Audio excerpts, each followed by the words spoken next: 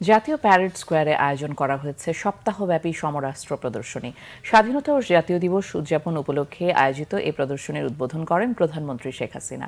বিকেল চারটায় জাতীয় প্যারেড স্কোয়ারে পৌঁছলে প্রধানমন্ত্রীকে স্বাগত জানান তিন বাহিনী প্রধান। এ সময় সশস্ত্র বাহিনীর সদস্যদের ডিসপ্লে উপভোগ করেন প্রধানমন্ত্রী। এরপর তিনি ঘুরে দেখেন তিন বাহিনীর সমরাস্ত্র প্রদর্শনী। স্টলে স্টলে ঘুরে ঘুরে বিভিন্ন বাহিনীর অস্ত্র ও নানা সরঞ্জামাদি দেখেন শেখ হাসিনা। এই সময় প্রধানমন্ত্রীকে সমরাস্ত্র সম্পর্কে তিন বাহিনীর পক্ষ থেকে ব্রিফিং করা হয়।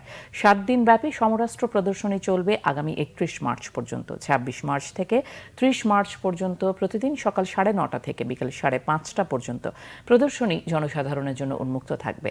একত্রিশ মার্চ সশস্ত্র বাহিনীর সদস্যদের পরিবারবর্গ বাহিনীর স্কুল কলেজের ছাত্রছাত্রীদের জন্য প্রদর্শনী উন্মুক্ত থাকবে।